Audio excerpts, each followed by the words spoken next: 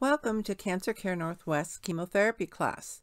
This class is designed to help patients understand chemotherapy and biotherapy. Our goal is to help keep patients healthy throughout the treatment process. Please review the new patient chemotherapy treatment materials you received from your oncologist. The materials in that packet reinforce the information in this presentation and is a great reference as you journey through treatment. If you have not yet received it, ask for it at your next office visit. Or we can send it to you in the mail if you call 509 228 1000. This presentation is a general overview covering possible side effects, what you can do about them, and when you should call us. Your oncology team will teach you regarding possible side effects related to your specific treatment. You may take notes, view, pause, and even rewind this presentation as many times as necessary, going at your own pace so that you don't miss important information about your treatment and care. What is chemotherapy and immunotherapy? Chemotherapy and immunotherapy are both treatments that fight cancer. While they seem alike, they work in different ways. Immunotherapy works with your immune system. These drugs call on your immune system to attack the cancer in a very targeted way. Chemotherapy attacks the cancer cells directly, yet in a more general way. Please see the National Cancer Institute website if you wish to explore this and other cancer topics further.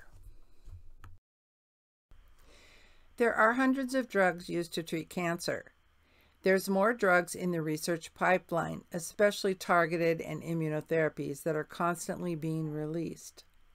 Our knowledgeable oncology providers keep on top of the latest treatments for all cancers.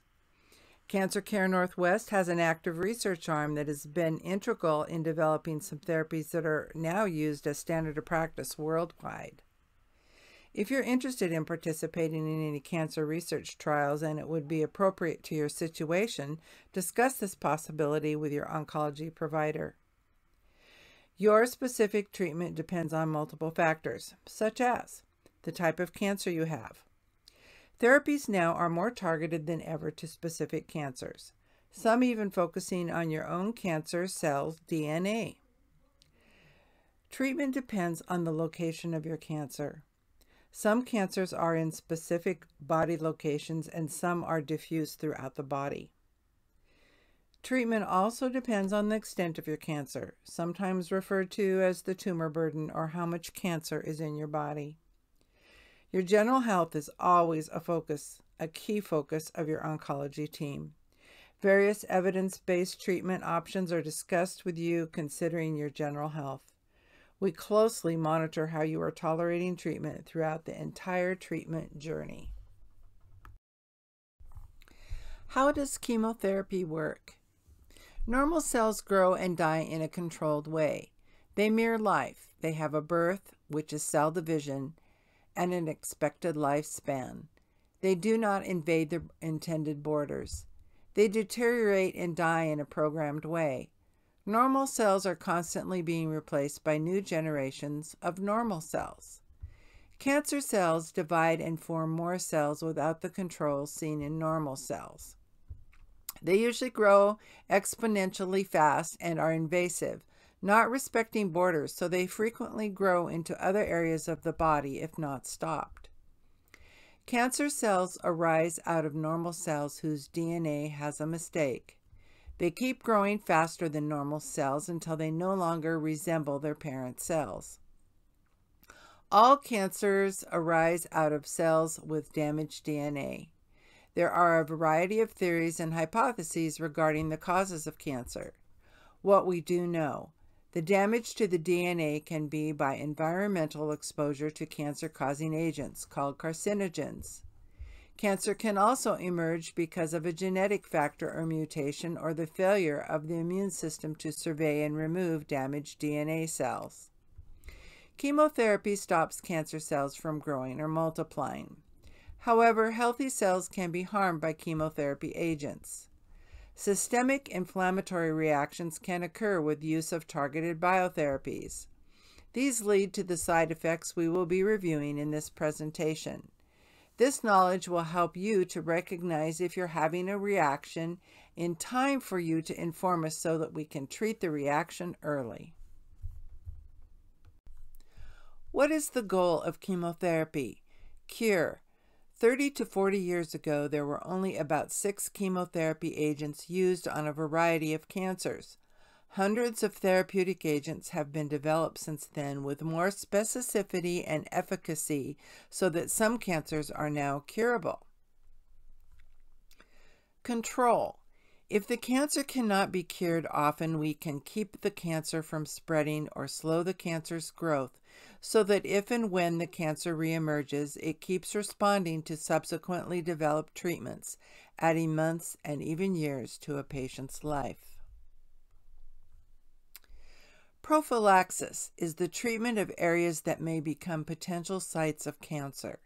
An example would be having a preventative mastectomy or removal of ovaries because of a familial genetic positive history that indicates the patient is strongly genetically prone to developing breast or ovarian cancer. Genetic testing precedes this type of treatment. Palliation is a process of relieving symptoms caused by cancer, although a cure is not expected. Examples are radiation therapy or surgery to debulk a tumor that is impinging on vital organs or nerves.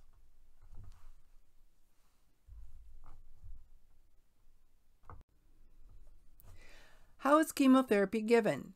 In the chemo suite, we mostly administer chemo by the intravenous method or inside the vein. This includes using either a peripheral vein in the arm or through a central line that is usually placed in the chest. While some patients have other types of central access devices, a chest port placed in the upper right or left chest is the most common. A chest port includes a catheter that is tunneled under the skin into a large vein that leads to the atrium of the heart. Medication is administered through a special needle into a self-closing pad attached to the catheter. Chest port placement is an outpatient procedure done by an interventional radiologist or surgeon before treatment starts. Specially trained chemotherapy nurses in our clinic use sterile technique to access, administer medications, and deaccess central line devices. Some chemotherapy agents can only be given through a central line access device. Chemotherapy treatment time can vary from short infusions of a half to two hours or longer infusions from four to six hours. Other ways chemo can be given is through oral tablets or capsules, which your oncologist orders through a specialty pharmacy. These are serious, potent chemotherapy drugs that need to be taken exactly as directed and need to be locked away from children the patient needs to keep a calendar and a notebook to record dates the patient is taking the medication. Also, the patient needs to document date, time, and duration of any side effects in their notebook. Patient calls to a triage nurse also need to be noted, including date, time, name of the triage nurse, and a brief overview of the conversation. Intramuscular is injection of chemotherapy in the muscle, usually the deltoid muscle of the arm or the gluteal muscle of the hip. Intraarterial is chemo injected inside an artery. Intracavitary is chemo administered inside a body cavity, such as the intraperitoneal space, which is inside the area containing the abdominal organs. Intralesional is administration of chemo inside the tumor itself. Subcutaneous administration is just under the skin, and topical administration is to the surface of the affected area. How long will treatment last? Well, it depends on the type and extent of your cancer. What's the goal of treatment? Cure, control, palliative, and which drugs are used? Be aware that these drugs have gone through clinical trials to determine safe and effective doses and administration times. Finally, it depends on how your body responds to treatment. Therefore, it's so important for you to write down any side effects and call us early if you experience them or are feeling ill.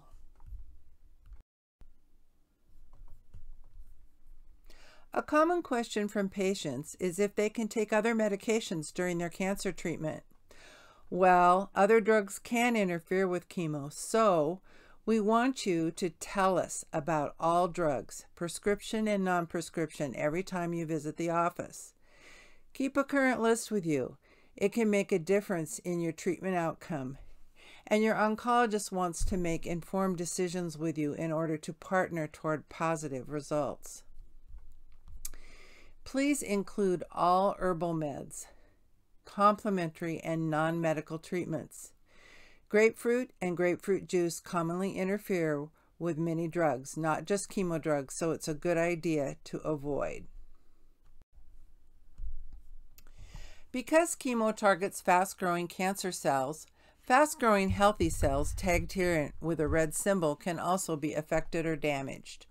We are going to cover these more extensively in slides that follow, but be aware that fatigue is the single most commonly experienced side effect. It may extend well beyond the time of chemo or radiation. Fatigue is the symptom patients are least prepared for. It has several causative factors, mostly that your body is working hard to fight the disease, plus the effects of the disease and the therapy. Track your fatigue in your notebook, rated on a scale of 0 to 10. 0 is no fatigue, and at a 10 you basically can do nothing. In other words, you're laying down most of the time. Inform the nurse and oncologist of your fatigue rating at each office visit.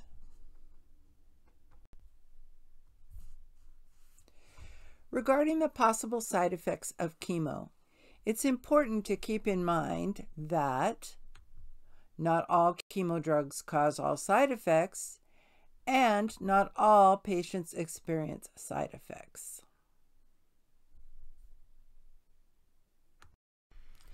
Effect on blood cells.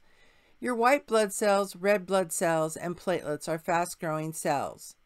Your mature white blood cells seek out and consume foreign substances such as viruses and bacteria inside your body. As previously mentioned, chemotherapy is designed to go after fast growing cancer cells. Chemotherapy, unfortunately, can also attack fast growing normal cells, such as your white blood cells, inhibiting white blood cells from being optimally effective. This is why we frequently perform blood draws to closely monitor your white blood cells, especially. If needed, we can stimulate their formation in the bone marrow with an injection of white blood cell stimulating growth factor. We stress this teaching because reduction of white blood cells is one side effect of chemo that can be life threatening if you develop an infection. Because of the effect of chemotherapy can have on your white blood cells, we want you to call us day or night for a fever of 100.4. That is 100.4, not 104. 100.4. Call us day or night for shaking chills. While you might develop an infection, you might not develop a fever. But if you have bone shaking chills, that can be another indication of an infection going on somewhere in your body that needs to be treated promptly. Other reasons to call include pain, redness, and swelling of your central line port or IV access site, sweating, diarrhea, burning on urination, severe cough, sore throat, or short of breath, abdominal pain, or new vaginal discharge. Call as soon as possible during our business hours, 8 a.m. to 5 p.m. After office hours and on the weekends, your issue will be addressed by the Cancer Care Northwest provider on call. Use the same number.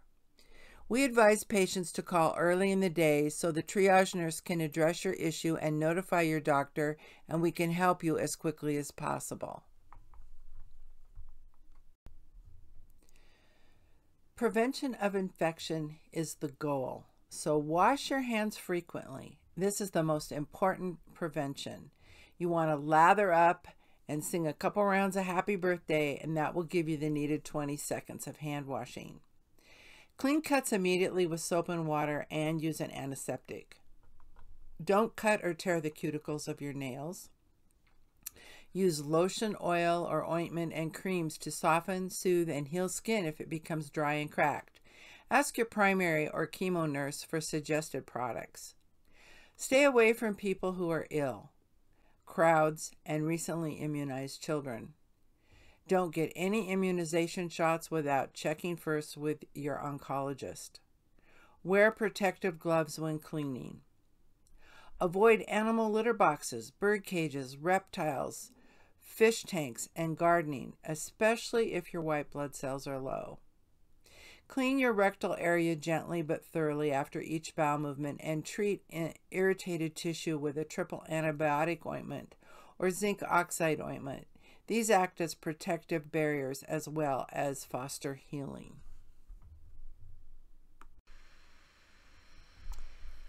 Management of infection. If your white blood cells are abnormally low, your provider will refer to this as neutropenia. Mature white blood cells are called neutrophils. They are the most prevalent type of white blood cells. They are the worker white blood cells. Neutro means neutral and penia means lack of. Lack of neutralizing white blood cells that go after and kill bacteria and viruses within your bloodstream and other tissues leaves you vulnerable to an overwhelming infection. If you have signs and symptoms of infection, you probably need to be on an appropriate antibiotic. Antibiotics, by the way, also kill healthy bacteria in your gut, so eat yogurt with active probiotics while you are taking antibiotics. Report if you develop diarrhea while taking antibiotics to the oncologist. Your oncologist likely will order a shot that will boost your white blood cell growth. It can be called something like Neupogen, Neulasta, Granix, or Zarxio. The oncologist may also reduce your chemotherapy dose to decrease the stress on the bone marrow production of white blood cells. And sometimes chemotherapy needs to be delayed until your white blood cell counts are increased. While safe food handling is important all the time, it is especially important when your white blood cells are low and you are at risk for infection. Check sell by and use by dates. Avoid foods from self serve bulk containers or bins. Buy pasteurized dairy, juices, and honey only. Pasteurization is partial sterilization of a product to make it safe for consumption and improve its keeping quality. Do not purchase or consume raw sprouts. Hand washing before handling food, 20 seconds with soap and water. Thaw meats in refrigerator away from raw fruits and vegetables. Use a clean cutting board for fresh produce and a separate one for raw meat, fish, and poultry. When cooking meats, use a food thermometer. Meat should reach an internal temperature of 165 degrees Fahrenheit and poultry should be cooked to 180 degrees Fahrenheit. Cook eggs until whites and yolks are completely firm. Wash fruits and vegetables. Peeling fruits and vegetables is important if your white blood cells are low. Check with your oncologist if you are neutropenic, as the oncologist may want you to avoid fresh fruit and vegetables until your white blood cell count has recovered sufficiently. When dining out, avoid salad bars, delicatessens, buffets, potlucks, and sushi.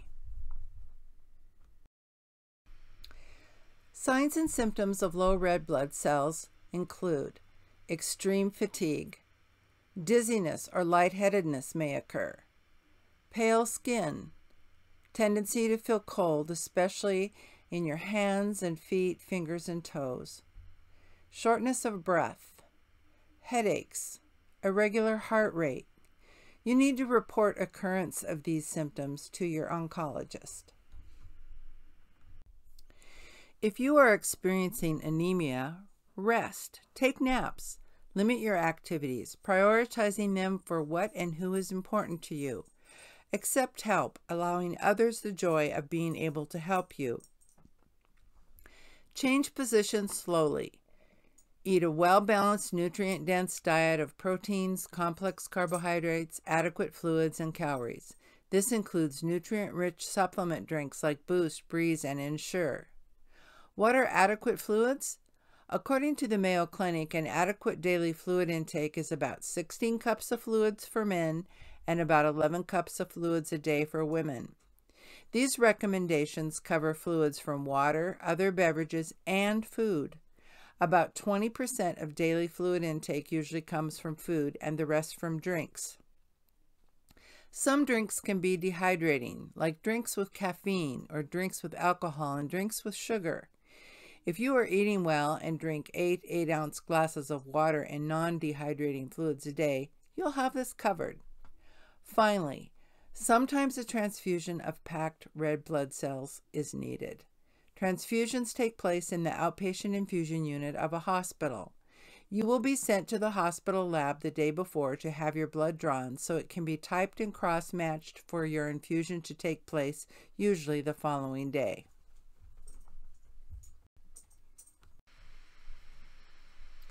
Decreased platelets, called thrombocytopenia, means you have an increased risk of bleeding.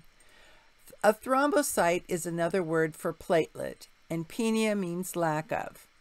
Monitor and document and inform your oncologist if you bleed or bruise easily, if you develop small red or purplish blue spots under the skin anywhere on your body, if you notice your urine has a red or pink color, if you have black or bloody bowel movements, if you experience bleeding from gums or nose, if you have new vaginal bleeding, if you are dizzy, if you experience severe headaches or vision changes, and if you notice increased weakness.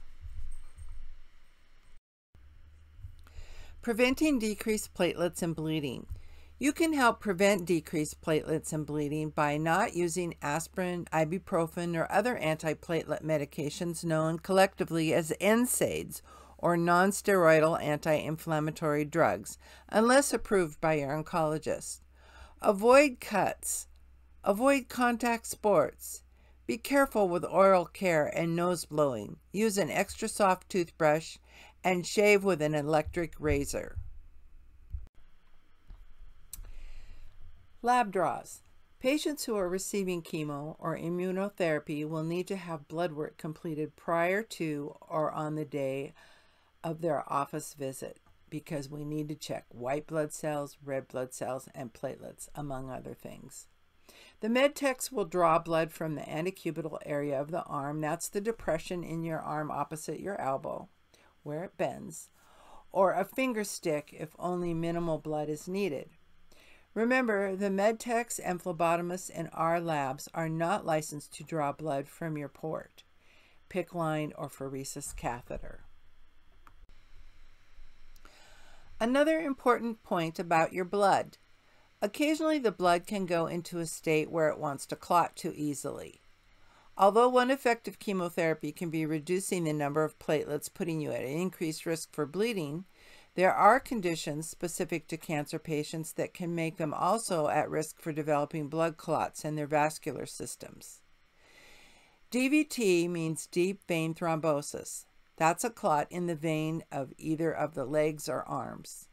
So you need to report the following right away, day or night. Swelling in one extremity and not the other, accompanied by edema. A depression or pit is left for two to three seconds after you press, then lift your finger off the swollen area of that extremity. Pain in the leg, especially when weight bearing, but is relieved when you lie down and your leg is elevated. PE stands for pulmonary embolism. Pulmonary means lung, and embolism means obstruction of blood flow in an artery, usually by a clot.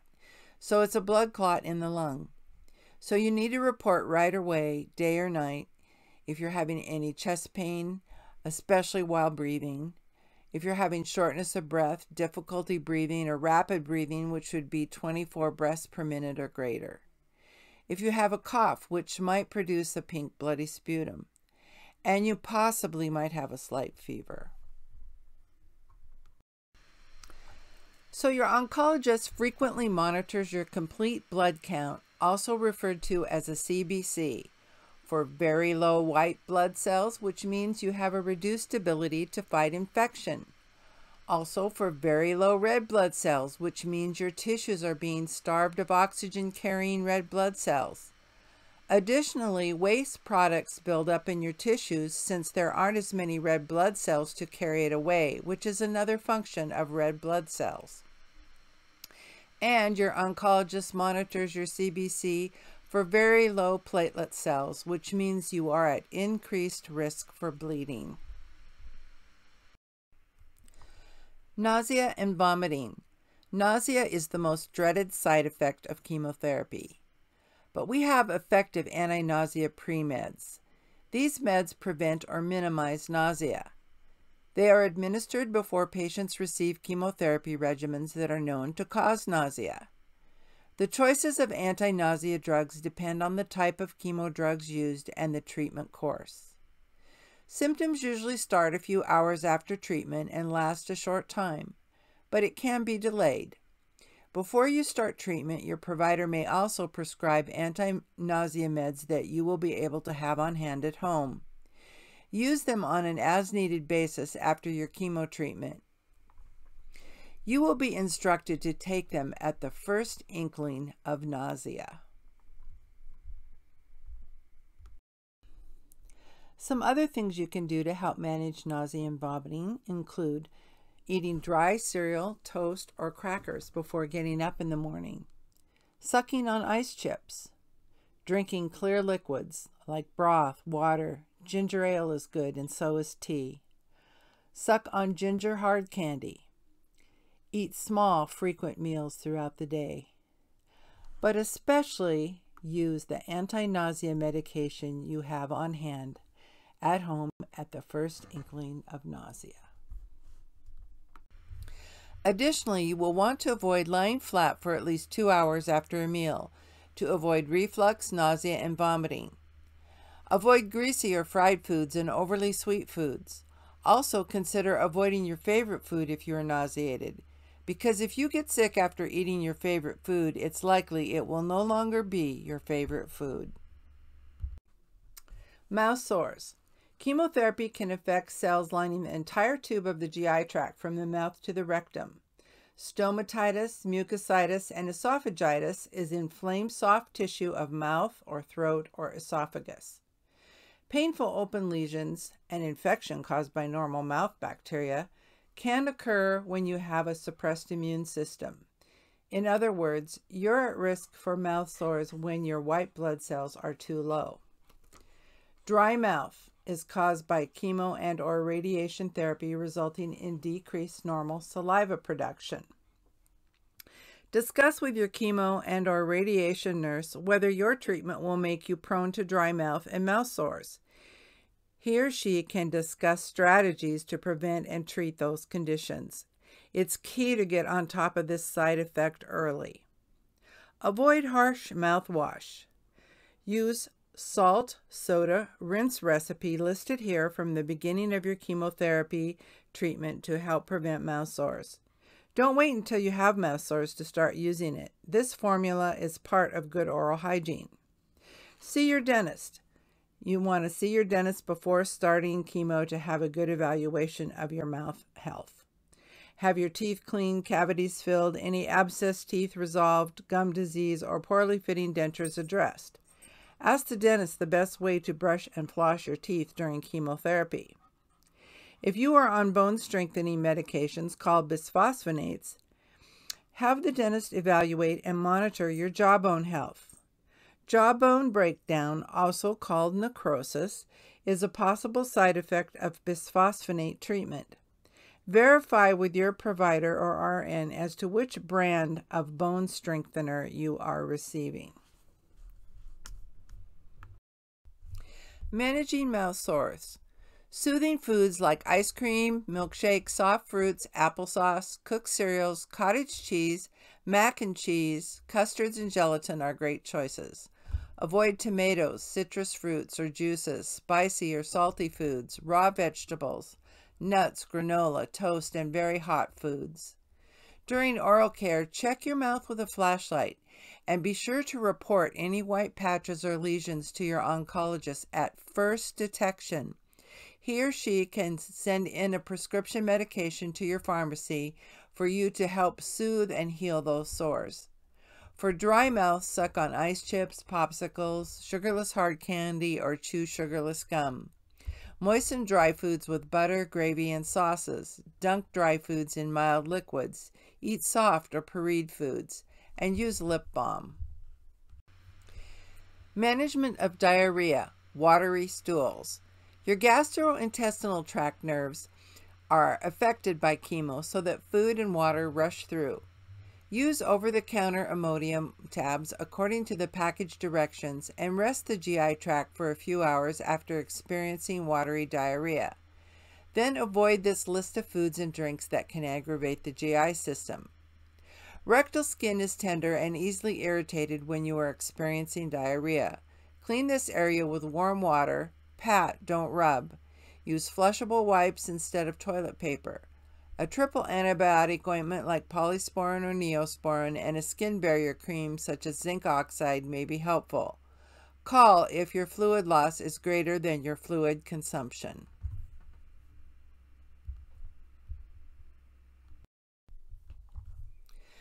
The brat diet is also helpful in managing diarrhea.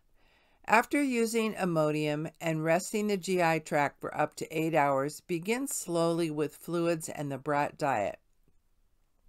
Do drink plenty of non-caffeinated fluid. Eat smaller, more frequent meals, starting with the brat diet. Slowly add foods low in fiber. Examples are white bread, ripe bananas, and canned fruit. Eat potassium-rich foods such as bananas and potatoes. If you have three or more episodes of watery stools after following all these guidelines, call us. It's likely you will need to have additional medication and intravenous replacement fluid. Keeping adequately hydrated and avoiding dehydration is extremely important. Mild to moderate dehydration is likely to increase nausea, aggravate and contribute to mouth sores, and cause decreased urine output. If your urine is clear or light colored, that means you're well hydrated. If your urine is dark or amber colored, that usually signals dehydration. So when you see your urine is dark, drink more water. Mild to moderate dehydration can also cause headaches, constipation, dizziness, or lightheadedness. Other possible indications of dehydration can include fatigue, very low energy level, depression, sleepiness, and even being disoriented. Call if any of these are occurring. Water and juices help flush the irritating waste products of chemotherapy from your cells that occur during the metabolic process. These waste products of metabolism can cause you to have flu-like aching if not adequately flushed through your system. Bladder and kidney irritation. Change in color of urine is sometimes caused by a drug you are taking. Check with the RN or oncologist to see if this could be the case. If you experience the first five symptoms listed here, try increasing your water intake markedly by two or three 8 ounce glasses. If your symptoms persist, worsen, or you develop a fever, notify your oncology nurse and physician right away you may have a urinary tract infection. Management of fatigue. Fatigue ranges from lethargy to complete exhaustion. Remember to rank and document in your notebook your fatigue on a 0 to 10 scale. 0 is normal energy for tasks of daily living and work. A 10 rating means you don't feel like doing anything except resting. Fatigue is the body's message to you to conserve your energy. Pace yourself. Take breaks. Get enough rest and enough light exercise. Get up slowly. Ask for help. Eat well. Green leafy vegetables, meat, cheese, legumes, protein, complex carbohydrates are all nutrient-dense foods. Avoid empty calorie foods like sugary and processed foods. Contributing factors towards your fatigue includes underlying cancer, chemo, radiation, surgery, decreased blood counts, decreased sleep, pain, stress, and decreased appetite and fluid intake. Conserve your energy for the people and the activities that are important to you. Take a holistic approach, such as meditation, prayer, yoga, guided imagery, and visualization to help combat fatigue and feeling low. Be aware that Cancer Care Northwest offers counseling as a part of your care to help you get through this journey. Ask your oncologist or nurse about this service. Alopecia means hair loss. Chemo damages hair follicles so the hair breaks off at the scalp. Not all chemotherapy drugs cause hair loss. Discuss with your oncologist if hair loss is expected with your treatment. Hair can begin falling out after about three weeks of treatment. If you experience hair loss, protect from loss of body heat while sleeping by wearing a lightweight soft knit hat. Hair grows back. It may be a different texture or color at first, but it usually grows back at about a half inch per month. Hair loss can be anywhere on the body. So if you lose your eyelashes, protect your eyes with glasses or sunglasses. Hair and scalp care. You may want to cut your hair short as it usually all starts to fall out over a few days. It can clog up your drains and rub off on your pillows. If hair becomes dry or brittle, use a mild shampoo and conditioner. Use soft hair brushes. When using a hair dryer, only use low heat. Avoid the sun. Use sunscreen, hat, or scarf. Avoid dyeing, perming, or relaxing your hair. Consider purchase of a wig before hair is gone. Primary and chemo nurses can suggest resources. Insurance may cover the purchase of a wig. Note, cryotherapy, which is a cooling hat worn during chemotherapy infusion, is expensive and has not been demonstrated to prevent hair loss. Skin changes. Most skin problems are not serious. You want to avoid hot baths and hot showers and use lots of moisturizer.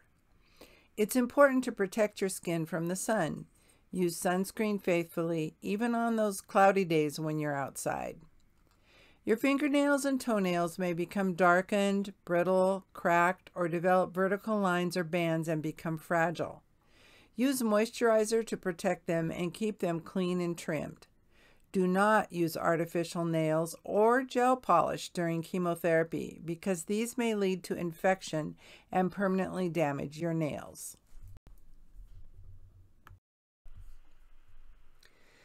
Peripheral neuropathy. Some medications you may be using and chemotherapy can cause tingling, burning, numbness, and cold sensitivity of your hands, fingers, and feet. Chemo can also make muscles weak, tired, and sore. Signs and symptoms may or may not include loss of balance, clumsiness, difficulty picking up objects and buttoning clothes, walking problems, jaw pain, tingling in ears or hearing loss, stomach pain, constipation, and hiccups. These symptoms are usually temporary, but they may persist. Be sure to document any of them in your notebook that you take to your office visit so your oncologist can evaluate and address them. There are medications to treat neuropathy symptoms, including intractable hiccups. You will need to avoid tight fitting clothes, socks, shoes, and gloves. Sexual function and fertility. Side effects for men and women depend on the chemo agent used, the dosage given, age, and general health. Love, intimacy, and touching is very important for human health. Please talk to your oncologist about any concerns you have about sexual function and fertility. If your oncologist has not discussed fertility issues with you as age appropriate, be sure you have that discussion with him or her before you start chemotherapy. If you wish to egg or sperm bank, it must be done before you begin chemotherapy treatment.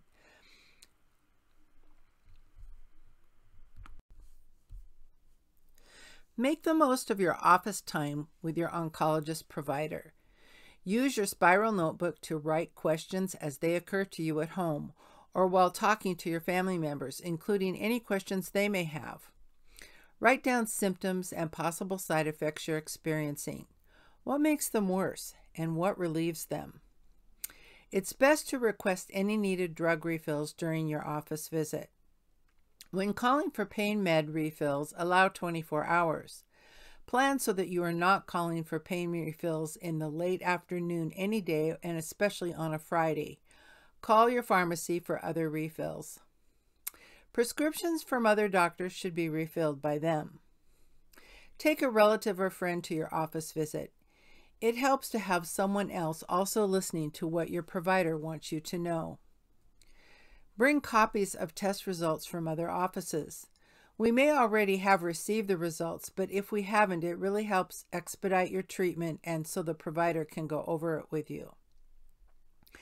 Ask as many questions as you want, and keep asking questions until you understand the information. Your providers appreciate this kind of preparedness. It helps both the provider and the patient get the most out of the office visit for comprehensive care. If a physician other than your Cancer Care Northwest provider would like you to have an add-on lab test for them when you are here, you must bring a signed order by that physician. We will be happy to add the test onto any labs we are also doing for you while you're in the clinic. However, if you are not scheduled for any laboratory tests at Cancer Care Northwest that day, our lab cannot draw labs for an outside provider only. This is due to the limitations of our in-house laboratory license. Our laboratory is not an independent licensed lab.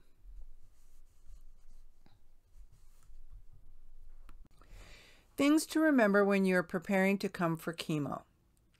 Eat a light breakfast before you come to the clinic for treatment. Take scheduled medications unless otherwise directed. No children in chemo. No pets in chemo. Try not to wear perfumes or scented lotions. Many people are allergic to fragrances. The effect of chemo on the olfactory nerves can cause patients to be very sensitive to fragrances and can even trigger nausea. You may bring or order in food. Be sure to bring your pain medications. This is so important, just in case you need them while you're in the chemo suite for treatment. If using oxygen at home, bring a full portable tank and tubing or your portable oxygen concentrator. Wear layered clothing.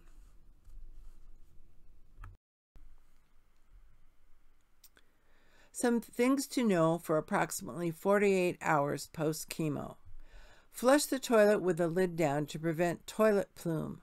When a toilet is flushed, the swirling water that removes the waste from the bowl also mixes with small particles of that waste, shooting invisible aerosol-sized waste into the air. Chemo drug is present in this waste up to 48 hours. Keep the lid down to prevent pets from drinking the water. Any residual chemotherapy waste is toxic to animals. Use barrier protection during intercourse. Linens contaminated with body fluid should be washed twice in hot water and soap. Chemo scheduling. The amount of time you spend in the treatment suite may be any time from a few minutes to 8 hours depending on the treatment regimen. We schedule between the hours of 8 a.m. and 5 p.m. If your treatment is less than 3 hours, it will usually need to be scheduled in the afternoon. This is crucial to accommodate the many patients who have longer treatments so that delays do not occur. Treatments of 7 to 8 hours will be scheduled the day after your office visit with your provider. Please be patient with the schedulers. They try to be as flexible as possible. During your visit at Cancer Care, we provide TVs with headphones in the chemo suite. Wi-Fi hotspot internet access is also available, but you need to ask the nurse for the password. Blankets, pillows, snacks, coffee, hot water, ice water, juices, sodas, and various nutritional supplement drinks. These items are free to you. Cancer Care Northwest provides patients with extensive support resources, including nutritionists, financial patient advocates, and services in group and single settings with our social workers and counselors. See details in the resources portion of your new patient packet. Inquire with your nurse or nurse practitioner or physician or any Cancer Care Northwest staff to help connect you to these professionals. Be aware that you are not alone. This is your support team at Cancer Care Northwest who will treat you like family.